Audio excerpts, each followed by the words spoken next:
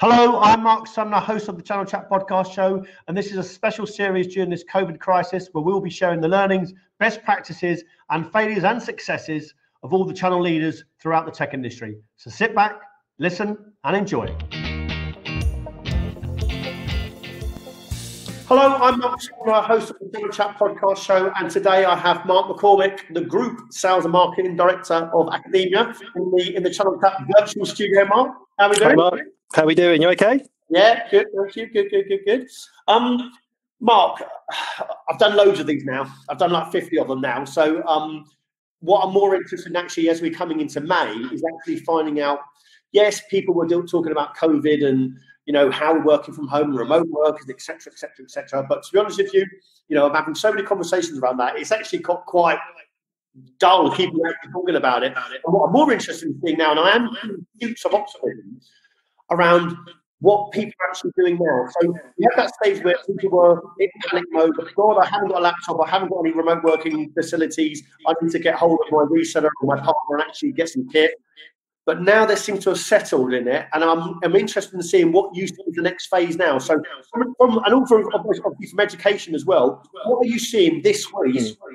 in terms of what the market interactions you're having with your customers? Yeah, I mean, it's, it's a good point, Mark, because, you know, we've all had to adopt and adapt a very different way of working, you know, obviously. Um, you know, we've mobilized really well. We, we, we turn things around really quickly, fortunately. You know, we are in IT and therefore we, we were practicing what we're preaching. We've, we've moved into the cloud. We were there already. You know, actually, the biggest challenge wasn't necessarily a technical thing, it was more from a, a behavioral patterns thing, you know, understanding the productivity. And, and me, and my, me and my sales management, you know, we were obsessed all of a sudden with data data and understanding what people are doing and where they're doing it and all and so we've gone past that now and i think you know we're seeing green shoots of recovery in certain parts particularly of education and, and our business is fundamentally education by a large 70% of our turnover comes from education be it a product or and or a service and um, I think they're seeing the same, by the way. So they've had to do exactly the same as what we've all had to. They've had to go and find somewhere to work. They've had to get the laptop, the two screens, the headsets. They've done all that. Yeah. And so I think the feedback from me and my teams, particularly this week, over the last 10 days, has been very much all about okay, well, we still needed to do this renewable software. We still needed to have this iPad rollout, or we've still got this project pending.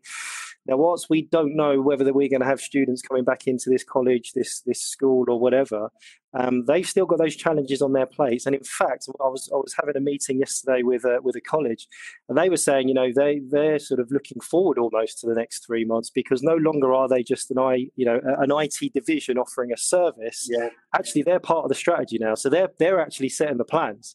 So you know, they've got procurement on the phone to them, and they've got everybody on the phone saying, right, okay, well, what does this look like for the next six, nine, 12 months because we may need to do, for example, our intake uh, for a college, we might need to do that remotely. So how do we make that work? Um, so th- there's lots of those sorts of conversations going on, um, and so what we're seeing is that that green, small green shoot of recovery. The other thing with education that we're we're noticing is that um, a lot of that business is driven by framework agreements. And obviously, if they're non key frameworks, we're, we're actually seeing that the frameworks are being extended. So it's actually given us some more time to kind of develop and work on those relationships and almost take that risk out of our business. Um, because, you know, at the moment, we're looking at planning for next year. Now, our FY kicks off in July.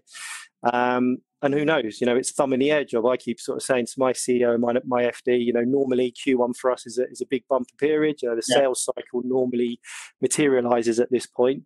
Um, what does this summer look like? don't know. So we've almost got two or three versions. We've got our own COVID version of the budget, and then we've got a kind of a good, better, and best beyond that. it's because it's so many unknowns. You know, we've never ever seen this before, obviously. But like I said, I think over the last last week or so, we're starting to see customers warm to the fact that this is life as semi-usual, and this is what it's going to be like. So let's try and to sort of crack on and look at what we can do with you. You know what? I, I literally, Mark, I literally echo that those words because literally, literally, the first time I've actually seen, seen having conversations with starts around hiring and onboarding, and we've made literally three deals today, three deals today. What was their start this week? Whereas before the first two or three weeks, it was like, ah, you know, you know yeah. bedlam. Um, now, I think people have sort of got, they can't keep on doing that every day. You know, that, no. you know we were having salespeople come to us and saying, "Oh, it's distasteful to call in COVID. It's distasteful to to customers, etc., etc." You can't keep on saying that every week. You know, we, you can't keep on saying that for two or three months. So I've actually noticed literally this week and the top last week, and customers now are happy to be prospected. They are happy to have investments. They are happy to have details around planning. They are happy to have questions around onboarding, etc., etc. And I think so. Loads, of were saying to me the same thing. It was like there was that wave of panic and laptops and headsets, headsets and all that sort of good stuff. But now they've had to start planning. What, what's our business going to look like? What's our plans going to be look like? And I, I actually see that as lots of positive stuff going on in the market. And um, I actually hoping obviously I, can't predict anything, but I'm hoping that the shoots of, re- of recovery are going to really continue through the summer, and, it, and it's going to be a good thing. So going on to your plans around uh, uh you know July, your FY, mm-hmm. you obviously you had you had pre-COVID your plan. How how how drastic of an adjustment has it been in terms of going to your CEO and saying, right, I know it's sort of finger in the air time, but is it is it definitely different around you know hiring, planning, growth, etc., etc. It, it, is. We've had all of those conversations. So I would say it's, it's all of the above. And, you know, we, we've been a very uh, fast growing company. I've been there 11 odd years, and, and the growth year on year uh, has been, in most scenarios, triple digit in some of the teams. So it's almost like we, we don't know anything other than growth. So we're, we're a little bit out of our comfort zone, if I'm being honest, there. You know, it's like, what, what and how do we plan for that?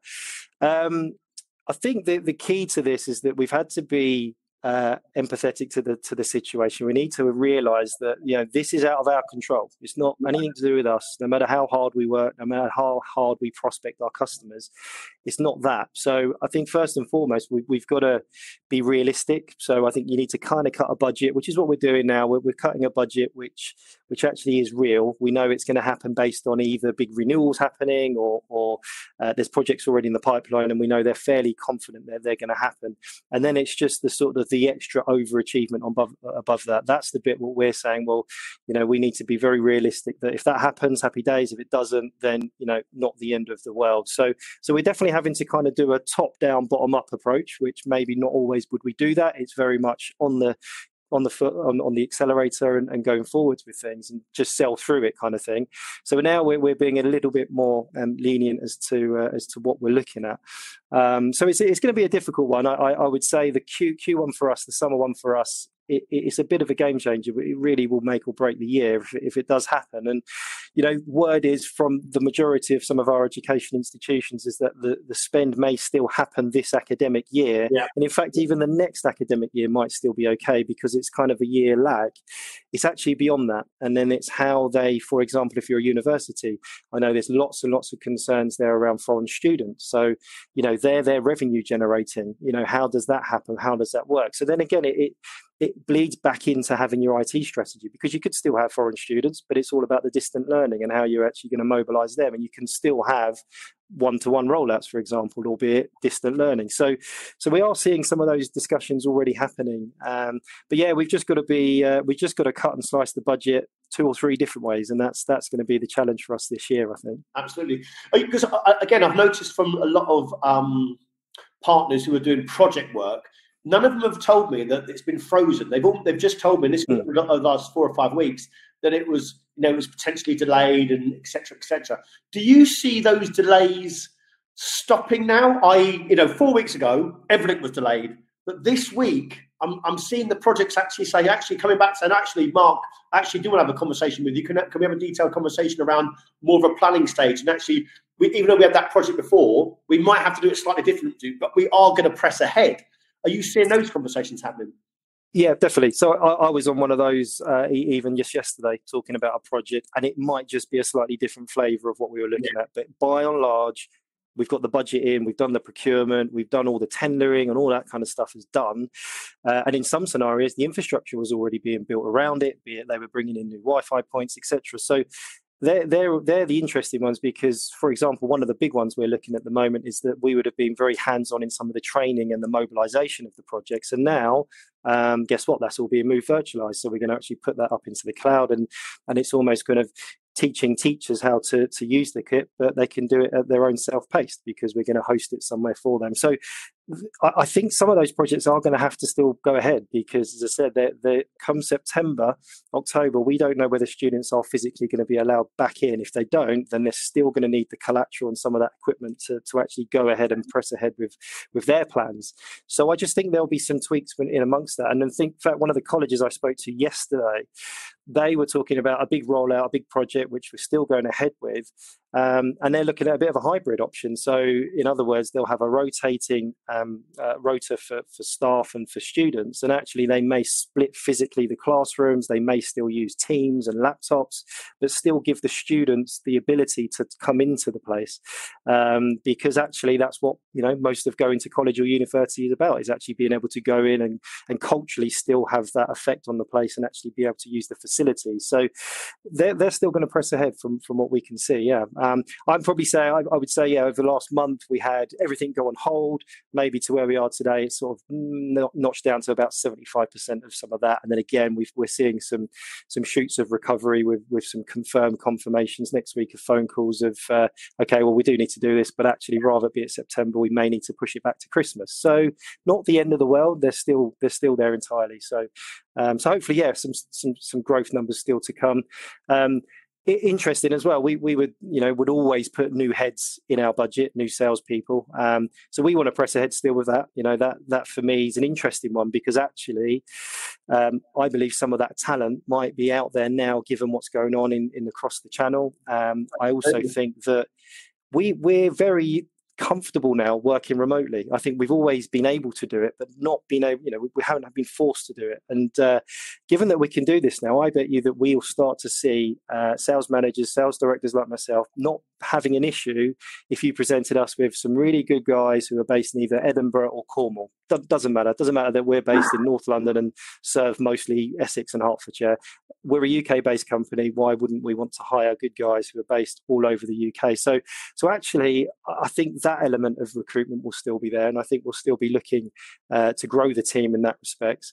Uh, and then, of course, acquisition. You know, we, we are quite an acquisitive company. We've done some small ones over the last few years, and we had one in the pipeline just before this all kicked in. Wow! wow. So we said to ourselves, we're um, I don't know what we're going to do. We're, we're either mad or we're, we're, stupid, or do we carry carry on? What, what what, what happens next? You know, so absolutely uncharted territory. So um, uh, yeah, there's there's still one in the pipeline, still working on the due diligence, and um, there there may even be another beyond that. And um, the more you look at it, and the more you try and put yourself off these sorts of things, um, actually it still makes sense. If it still makes sense for the business and you still believe in your plan and your addressable market is going through some turmoil, but largely, you know, it's just moving, it's not going away forever, then we're going to do it anyway. So, uh, so that'll be interesting. So maybe next time we speak, I might be able to tell you about about yeah. uh, some acquisition. yeah, um, it's, it's, it's, funny, Mark. Obviously, we all know about the you know the negative impact that COVID's had. You know, NHS, the deaths, etc. Obviously, it's tragedy, and and there'll be some companies that won't survive. But hmm. let's talk about the positives for a minute. Have you seen this as a potential get our house in order? And what I mean by that is streamline processes. Do we need that? Do we need that process? Do we need to virtually see this person? Does this person need to be on here at nine o'clock? Do I need to have those that meeting in Scotland where I could do a, video like this? Have you looked at it and had time to sort of assess actually actually this is quite a good time to get our house in order and actually streamline process that when you're so in the middle of running a business you know you, haven't got time to do that sometimes you're just you, you just you're just full steam ahead but this, at this time it's almost like actually you have a bit of time at home to actually think do I need these? So have you had the sort of time to sort of you and your leadership team had time to sort of reassess and sort of get your house in order and any drastic changes happen there? Yeah, no, definitely good. It's a good question because you know we we are. You're right. We are in the business day to day, and um, you know I won't be no different to, to most business owners, sales directors who um, where where change like this happens, you you really do need to take a cold hard look at actually are there efficiencies, are there ways of doing things because you're working remotely. You can't just shout over to so and so at the bottom end of the office or run over to him or her over there and say, actually, can you just show me this or do this? So actually, yeah, we, we've we've gone for a whole heap of change over the last two weeks. Talking to my sales operations manager, she's been fantastic in pulling together new ways of doing things. Just because I'm now experiencing it, and actually from the, the first two weeks, we all found found ourselves a lot more hands on all of a sudden. And the amount of times we were messaging somebody saying, "I didn't realize we had to do this to click that to get there to do," you know, yeah. and I wouldn't normally see that on a daily basis. And and actually, we we've learned a, a, big lesson off the back of that. So definitely in terms of, of efficiency changing, um, you know, we all talk about being agile. Agile IT is is the the phrase that we're all using and being nimble. And, and, we were fortunate because we could move quite quickly and, and mobilize and all work from home. Um, I definitely think that's that's a thing of the future now. You know, and and I'm I'm a bit old school in as much as I love to build, you know, have a big sales floor and it's buzzing and we've got the bell ringing when the orders are coming in and all that kind of stuff. And that's the bit we'll miss. So that's the bit we've got to be careful of not to lose the the cultural thing. Um, and be it going over the pub on a Friday, you know, having that all good stuff with the sales incentive. So it might be that there's going forwards a bit of a hybrid between okay we, we can mobilize we've got the systems all of our stuff lives in, the, lives in the cloud and that's great but let's not forget the good culture stuff that we were building prior to that. Um, so i think there'll be definitely a hybrid of it. There's there's certainly some some changes coming off the back of this and efficiencies that we can see. More more from a systems perspective i would say um, maybe utilizing certain people doing doing other things as well. So you know we, we've learned some lessons on on that but yeah there's definitely going to be some good change i would see coming off the back of it. Yeah and, and, and again i'll echo i've done done that in my own business. I think, you know, suddenly you look at things that, the way you're doing it. And when you're forced to actually look at something, you know, when you're so, you're so busy running a business, it, you know, you're trying to go 100 mile an hour. It's very, very difficult. But when you're forced to actually look at something, some of the stuff hmm. I had in my own business, thinking, why did I ever do that anyway? You know, yeah, yeah. So actually, yeah. in some ways, it's it's been quite positive. one thing that I, have noticed now, I'm, I'm interested in getting your thoughts on this when I used to go to meetings myself, I, I, would probably go half the time. I'd get, I'd have an agenda, but I'd probably go blind. I'd actually say, "Oh, you know, uh, Mark, I'd come up to your office, etc." And I'd travel up there, and I'd go up there before, and I might not know if yes, I'd understand the culture, but I not, might not know if we're going to get any work, etc. Uh, immediately. Do you think now, which I'm doing myself, is almost well, I'm forced to do it because I can't get there. But what I'm more interested in is now I can actually pre-qualify the customer over this platform and almost got to sort of say, Mark, look, are you serious about hiring or not? Before I come down there and mm. the culture, I want to know if we can actually work together. Do you see that, that that could be a real benefit for your sales guys and your interaction with your sales team? Because, you know, let's be honest, I missed the buzz of the office and I missed those interactions, but there was so much time wasted hounding people on the phone and trying to go to meetings that never come off, etc. When really a half an hour chat on the video that you can do you can do you know if you're if you're really going for it you can go four or five in the afternoon back to back and you can get through them yeah. stop all that messing around and wasted time and energy when you can actually say actually mark are we going to work together or not? Or at uh, this school are, you, are we going to work with this school? Are you at this university or not? And it can save that. So are you seeing your interactions potentially going to change moving forward i.e pre the meetings? Absolutely, and and I think we we we're going for a bit of a curve on that. So I think we we've done that internally ourselves, and you know, I talk about how we mobilized in a day and everybody was working from home. Great. We we then kind of started to learn our own lessons because we've all been using 365 and Teams, but not to the extent of what we're doing now. And we kind of sent out a bit of a teaser document in the first week just to say, you know, some general stuff about if you're having a meeting with a client, you know, think about still put the shirt on, you might be wearing shorts and flip flops, that's fine. But actually, it's just things like that. And all of a sudden, we, we were making up our own rules almost. But I think what's quite nice is that we've learned a lot between now, you know, between then and now. Um, and so it's it's for me the, these sorts of meetings, and, and I've had a few now with customers.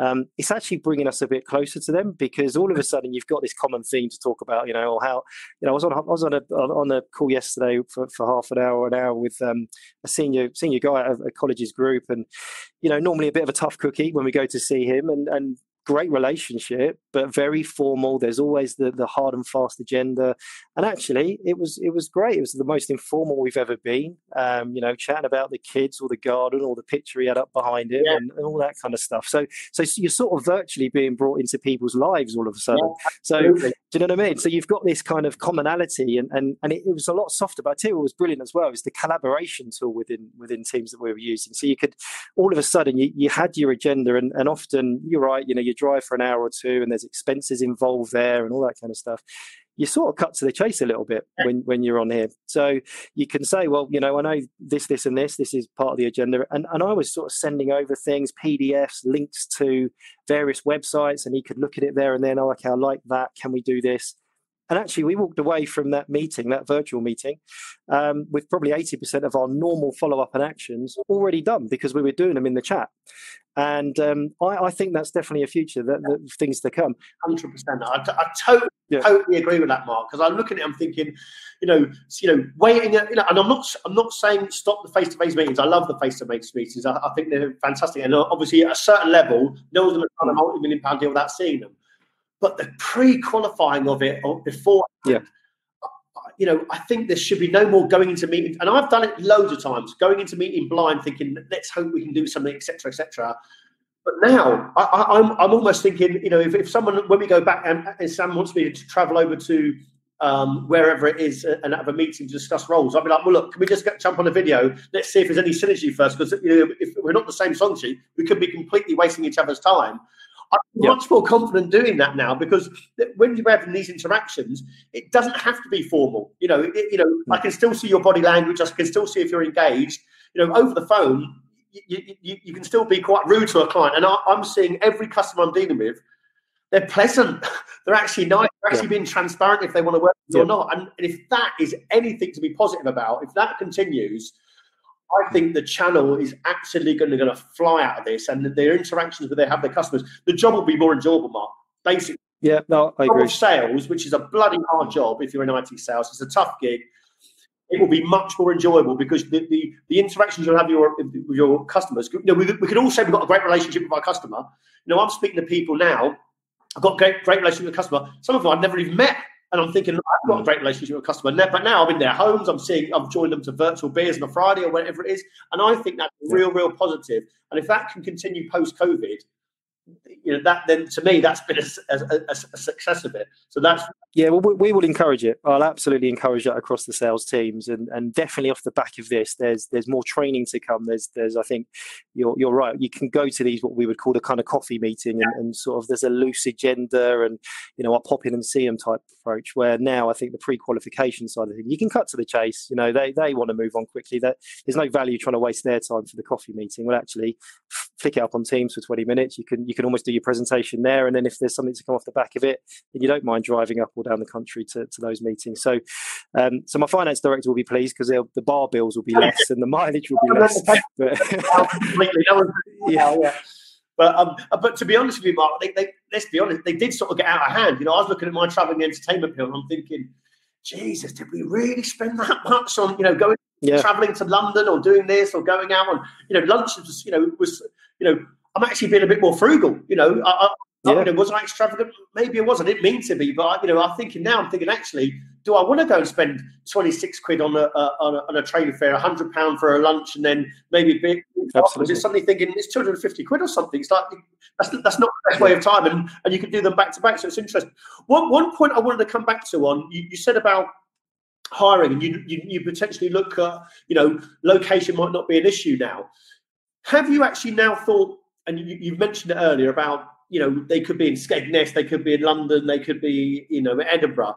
You know, people have had to sort of do virtual onboarding. They've had to do virtual inductions. You know, I spoke to a couple of directors who are doing now virtual start lunches where they'll get multiple, you know, multiple guys on having a lunch meeting because normally he'd take the new starter out for lunch. That's what he did. But now he's getting the ten of them online and actually just doing it. He said it's same loads of time. So has your Brilliant. your approach to sort of you know, training and doing virtual inductions on boarding.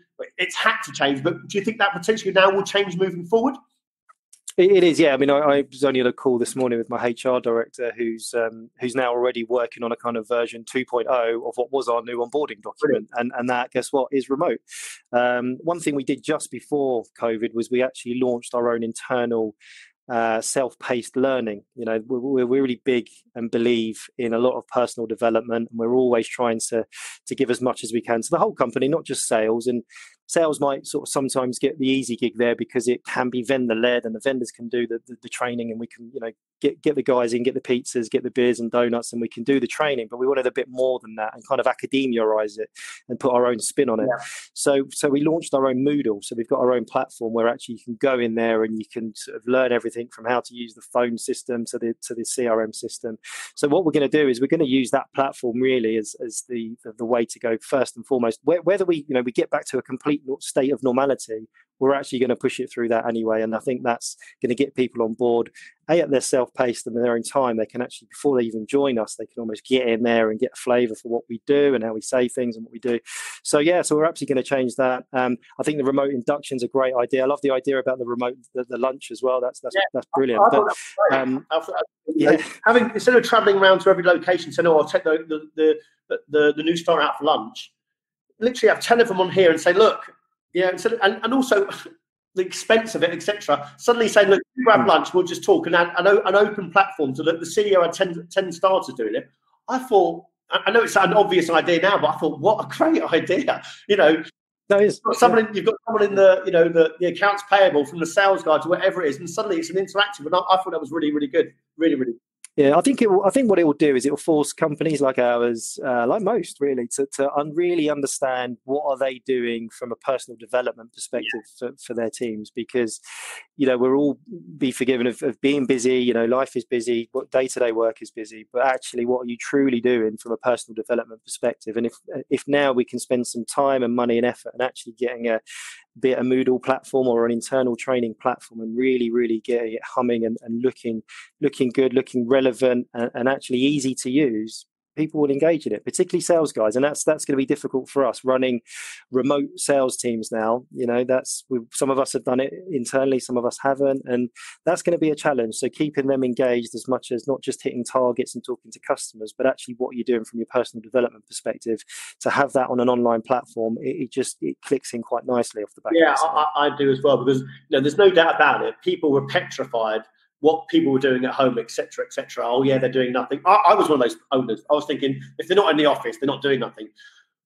Mm. What I realised was if they're not going to do nothing at home, they're certainly not going to do nothing in the office. Just because it, it, they can go to the water cooler, they can go out to lunch, they can pretend they're ordering something in the office anyway. So they're either doing it at home or, or they're not doing it at home. Regardless, it's the same outcome. So what I have, mm-hmm. you know, the, you know, you, you I'm I'm looking at my own guys and I'm looking at the, the people I'm getting feedback from is is is is the activities you want that's the something to monitor. The activities the engagements you know the customer interactions you know if you look at someone's diary and you're thinking well they're actually not doing anything they're not engaging anyone they've got no meetings that's a problem. But if they're doing the activities whether they're doing it at seven o'clock in the morning and then you know doing yoga at nine or whatever it is but as long as the eight mm. hour shift is being put in and the actual outcome is put do you know what? I think that's going to be potentially the new world. I think people will do it. Uh, you know, you know. Oh, actually, I've got half hour. I need to go and to the shops or whatever at three thirty or whatever it is. Before people felt, mm. felt terrible for doing that, but now, you know, if they work until six thirty, I'm actually. Do you know? To you, Mark, I'm actually doing more work now than I ever have. I have. I don't know if it's because I'm I'm thinking forced because of the market, but I'm actually thinking. I'm, I'm doing more calls. I'm doing more interactions. I'm, I'm actually I'm actually enjoying the job more. The only thing I am missing is is the, the office environment, the team, the, the, you know the spinning of the wheel we have, all the celebrations of when deal would go. That I am missing that in the team interactions. But in terms of actual efficiencies and work, I definitely think I'm more effective, and um, I think that'll be a, a, a, thing to come in the future. My, my, last my last question for you, and it's it's a bit of a personal one, really. I know you're not the world health expert, um, but I do want to sort of get your own view of what the next sort of three to six months is going to happen for academia and and the market in general, what you see um, in your prediction. I won't hold it to you. I won't I won't call you back in three months and say, Mark, you were wrong. But I'm interested. In if I'm right, you can buy me a virtual beer.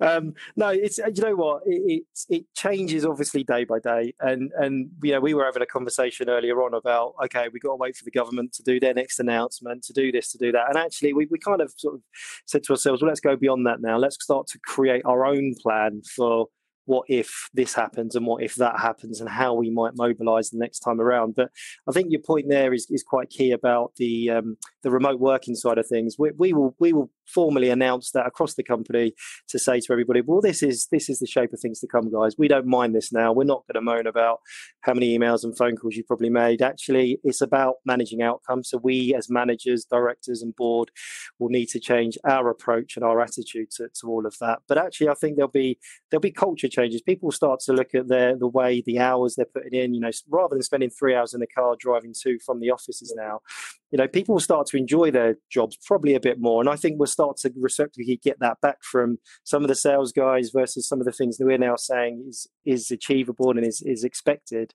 Um, so I think both sides of the, the coin there are going to change. Um, we're, we're going to plough on as, as sort of business as usual, but adjusted business as usual, be it on the numbers and some of the approach. I think the marketing side of things, again, you've got to be sympathetic to what's going on at the moment and how you generate net new business.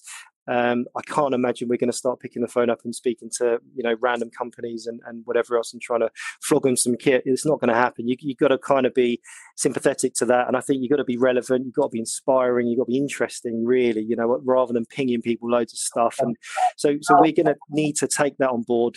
Yeah.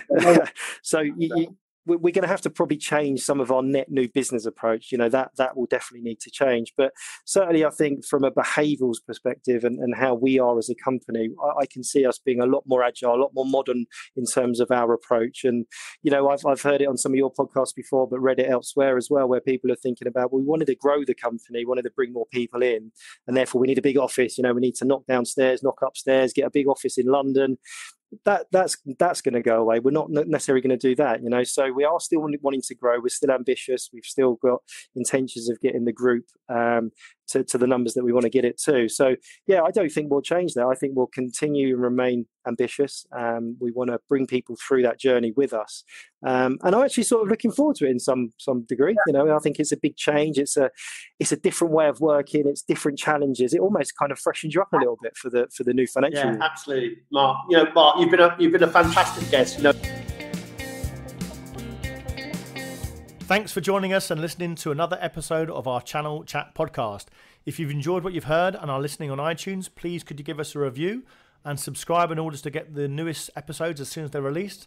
Otherwise, as always, we release an episode every Thursday at midday, so hopefully you can join us then.